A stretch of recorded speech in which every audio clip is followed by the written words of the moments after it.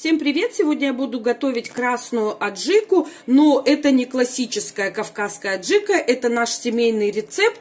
Мы очень много лет его готовим, и нам всем эта аджика очень нравится. Для нее нам понадобится 1 килограмм горького перца, 1 килограмм моркови, 800 грамм томатной пасты, 1 килограмм красного болгарского перца, полкилограмма чеснока, 300 грамм соли, 2-3 столовые ложки сахара. Сначала добавлю 2, потом буду пробовать, как там на вкус получится.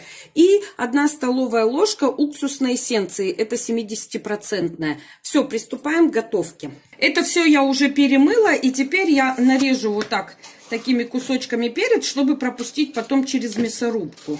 Перец я уже почистила и нарезала, и я еще забыла сказать, что туда желательно, чтобы не попадали семена от него. И теперь я буду чистить чеснок. Хорошо, что он большой, хоть по-быстренькому. Ой, почищу.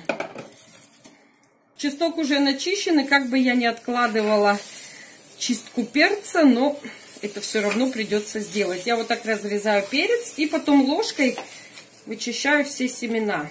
Тоже нужно стараться, чтобы семена вообще не попадались там. Ну, если пару штук попадется, ничего страшного. Но лучше, когда их нету. Все, перчик готов. И также я чищу весь остальной перец. Теперь очищаем морковь от шкурки. И нарезаем на вот такие длинные кусочки, чтобы они поместились в мясорубку у нас.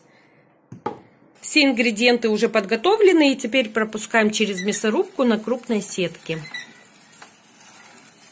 Все перекрутили и теперь добавляем туда 800 грамм эти томата, соль, сахар пока не весь добавлю, буду пробовать смотреть, и столовую ложку эссенции. Теперь надо все хорошо перемешать. Ой, какие запахи идут.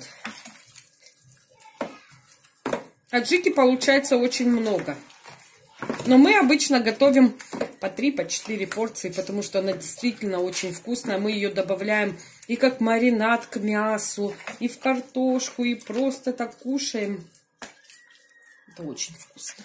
Я перемешала аджику и все-таки решила добавить оставшийся сахар, потому что мне не хватает чуть-чуть сахара. Снова все хорошо перемешаю, накрою пищевой пленкой и отправлю в холодильник на несколько дней. Периодически нужно будет доставать аджику, перемешивать и снова ее ставить в холодильник. Прошло уже три дня, сейчас сниму пищевую пленку. Еще раз все перемешаю.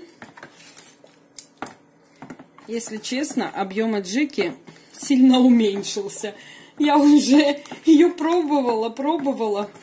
И приблизительно вот такую баночку уже напробовала. Теперь перекладываю в банки. Они не стерилизованные, просто помытые чистые банки. Сейчас все это переложу и поставлю в холодильник на хранение. Вот сколько у меня получилось аджики, но с учетом того, что я съела уже приблизительно такую баночку, получается из этого количества продуктов где-то 3,5 килограмма аджики. Она просто нереально вкусная. Я всем советую ее приготовить. Я думаю, что вам тоже понравится. На этом я уже заканчиваю это видео. Если вам оно понравилось, то ставьте лайки, подписывайтесь на мой канал, если еще не подписаны. Всем пока и до новых встреч!